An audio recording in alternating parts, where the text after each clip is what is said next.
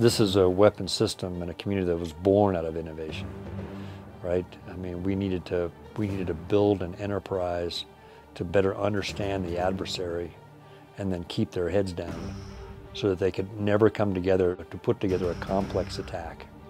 And so the innovation that we bring, is, I mean, this is changing, it's, it's changing daily.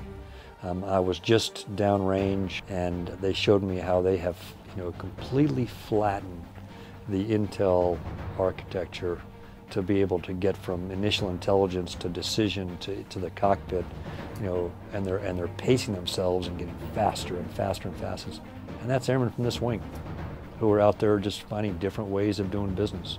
So we stay ahead of the adversary and they have no place to hide.